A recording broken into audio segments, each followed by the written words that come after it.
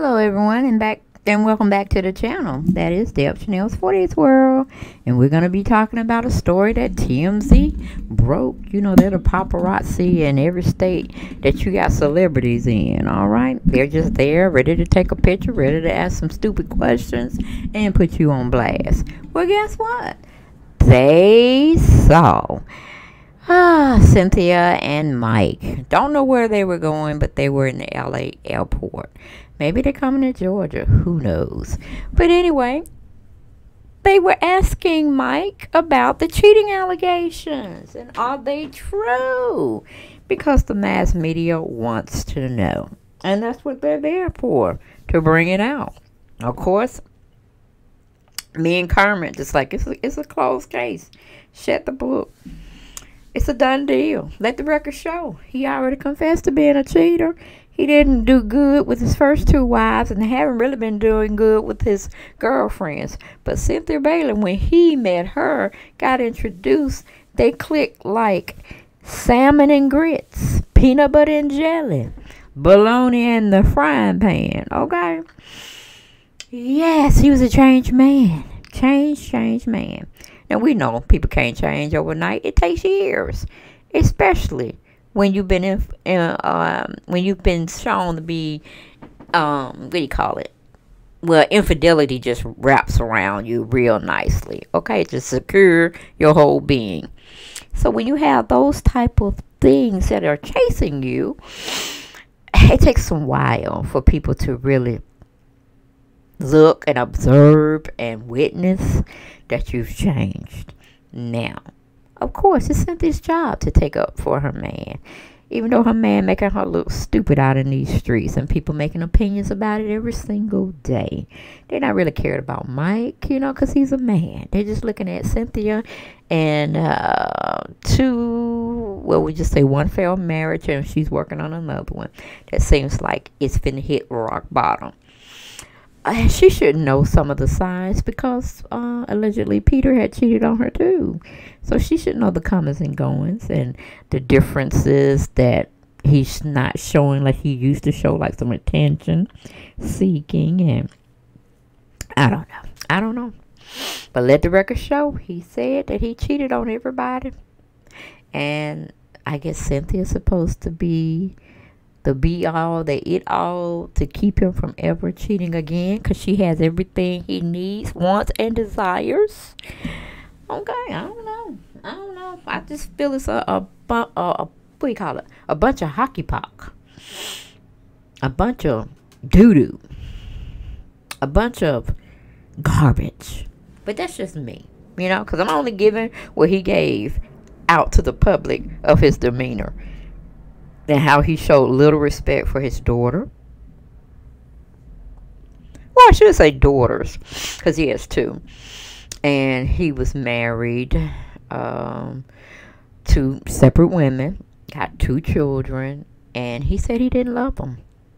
Of course, that didn't sit right with most of America that tune in to the Real Housewives of Atlanta. Because unless you're a sports junkie and you're in the sports world and you know all the sports commentators, there nobody know nothing about no Mike Hill until he showed up on Cynthia's platform that everybody watch. Well, the majority of everybody, I should say. I won't generalize that statement. But yeah, they caught up with Cynthia and they had a little little talk, not long, because you know they were going through LA's airport and like I said, don't know where they were going. They could have found that one out. Like, where you going? Where you off to? But they didn't answer that question. But we get on into the article. It's kind of brought out by the Grio, even though it's under Yahoo News. And somebody named Biba Adams wrote this nice article on November 3rd, which would have been yesterday.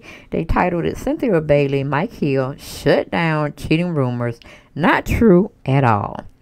The Real Housewives of Atlanta alum Bailey and her husband Hill denied they were having any infidelity issues in their marriage. Now, that may be true on your part, Cynthia, but it may not be so true on your husband's um, side of reasoning.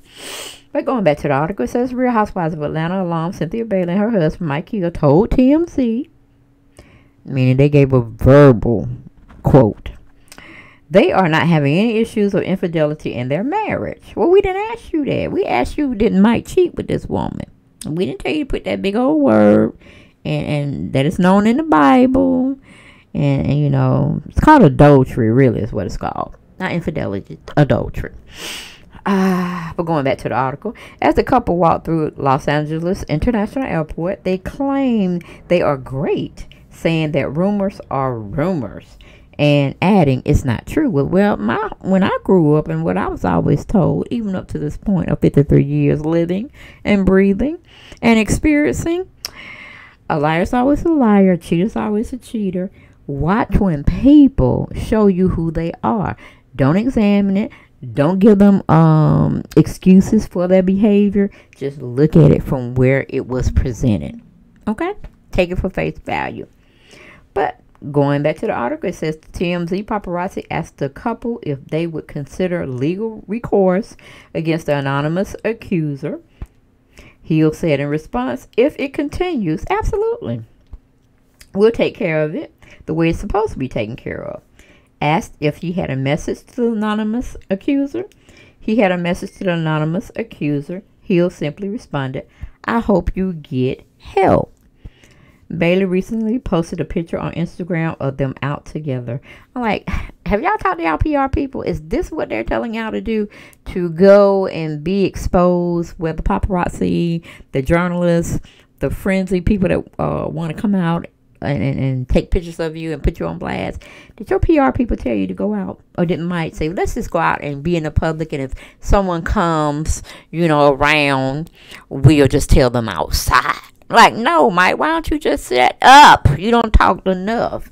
Because if you were really serious about it, if you were steadfast about this person is really uh, messing with their character, saying untruth, why you you already knew who the holder was, or it's not uh, hard to find who the alias was, and research. Have your lawyer research, have some talks going on, and have them to come back on public social media platform and take back, retract their statement.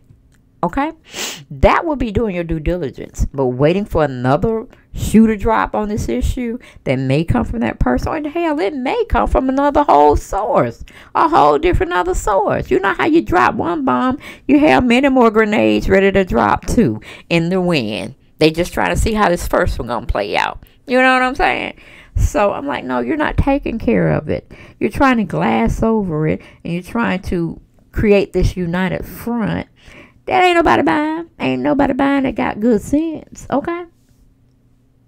That's all I'm saying. So, no, you're not doing your due diligence. No, you do not have anybody on returner. No, you do not have, you know, someone on a legal team going after this person, having a sit down conversation and asking them, to retract what they said and be, you know, honest about they lied, this, that, and the third, and let, us move on. But no, or you could have just not said anything, or just a blanket statement, not true, don't have any more comment, and don't have any more discussion on your platform, your social media platform. Because Cynthia, you couldn't find her. You couldn't find her until today. She wanted to show up and show out and, and take pictures of you and her comments and goings. But when this stuff was really hitting the fan three days ago, Cynthia was like Ghost, Casper, okay? And only you were out there trying to toe the role or toe what was said in front of your uh, platform of social media or wherever you go, however you move. You just wanted the smoke. So now you got it. Now you're going to have to deal with it because trying to retract something that you put out there on social media, showing your winger wanger everywhere Yes, your winger wanger. If you know if that was truly you, and only Cynthia would know. Only Cynthia would know. And she's a dutiful housewife, wife. She ain't gonna expose you because she know it would still make her look bad because she would have been a part of two men cheating on her in the public eye and get exposed to it in the public eye and she has to live with all the shame and humility. And she probably don't want to go through it right now. So she wants to believe that you really didn't do it like you said but she may be having some reservations that she's not talking to you about mike. I'm just saying Because you can only hold out for so long with the conspiracy lies. But going back to the article, it said, um, last, well, late last month, Bailey sat down for an interview with Page Six and said her decision to leave the popular reality franchise. Well, we don't want to go into that because we know she was not asked to come back as her current position of a, a peach holder. Okay? She's coming back as a friend. That was going to be the negotiation. She chose to not take it, which means I would have took it. I would have still been making my money, still been doing what I had to do, and uh, still been in the limelight to a certain degree. Because you were getting paid full time pay and wasn't giving us nothing. So they want to give you part time pay and you still don't give us nothing. To me, it was a win win. It was a no brainer. I would have took it, but I'm sure your husband had something to say about it. And of course, your husband had something to say about you not going to Gregg Leakes' celebration party because you know one platform you're saying that you weren't there, you were out of town. Another platform you were saying you and Nene weren't friends. You didn't feel like it was necessary for you to come because you didn't know how she was gonna act. Da da dee da da da. Hot mess, It's just hot mess. But you know she goes in to compare. She didn't want her marriage to be on TV, but you got married on TV two times. Or you had dress rehearsal, I should say, because they didn't want to fool with the COVID and they didn't want to, you know, be responsible or seek uh, somebody seeking lit- litigation against them because they got COVID at the celebration party that Cynthia called herself having. And, you know, Bro, I ain't finna go, we ain't finna do that. And the possibility somebody may come up with it, then they gonna say we weren't doing our due diligence and making sure everybody was secured and was properly masked up and staying six feet away. And they, they said they ain't going for that drama.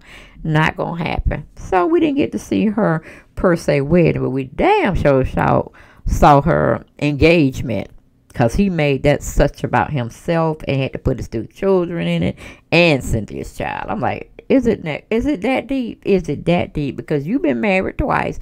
Cynthia been this will be her second marriage. I, I, I don't understand what the whole hoopla was about. Just go to the courthouse, get married, take a nice trip somewhere. All right, and film that for us to see. But it, um, you know, she was basically saying she just really didn't want to be a part of any more drama. Not right now. She wanted to kind of keep her marriage off of TV. But, you know, nah. See, well, you wanted to keep it off TV, but it actually is still on social media platforms. So you're still being spotlighted for the wrong thing. For the wrong thing that he may allegedly be cheating on you. You're still in the spotlight and you're not even on anybody's show. You're just making promos and interviews.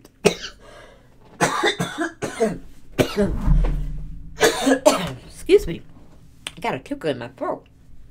But you're going around here doing interviews, talking about your dismissal or your willingness to leave the show, and it's all not adding up. It's all just not adding up, honey you and Nene got raw deals, but I can say you got a raw deal because you basically didn't do anything to make the show ratings go up or anything. you might have had one or two fabulous scenes, you know, with your fashion and your face, but just interacting and giving us drama. Really, Peter stole the thunder from you when you were married to him on the show.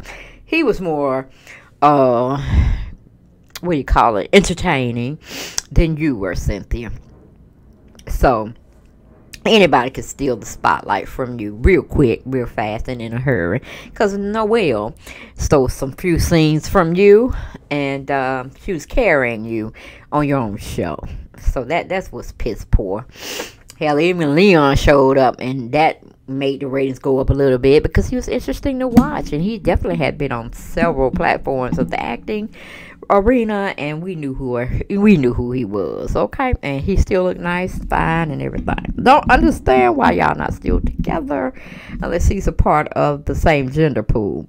Other than that, I just I don't see it because y'all were like perfectly matched. But here we go again, me going off in a, a tan a tantrum because you know I'm like if you're gonna put up with a cheater girl, I would stay with Peter. At least he was nice to look at. He had some class, and woo, when he get dressed up, Lord, that man look good. Okay, that man look good. So, like, uh, not so much, not so much, not so much. He don't even give me class. He gives me really nothing but a user. User. But that's just my opinion. That's just how I feel about the situation. And, um, yeah. But y'all get down in the comments. Y'all tell me how y'all felt about this short little, um, what do you call it? Short video I gave y'all because, you know, it's just really, I'm just sick of Cynthia just defending men that ain't worth defending, pretty much. Because he wasn't the perfect dad, from what I understand.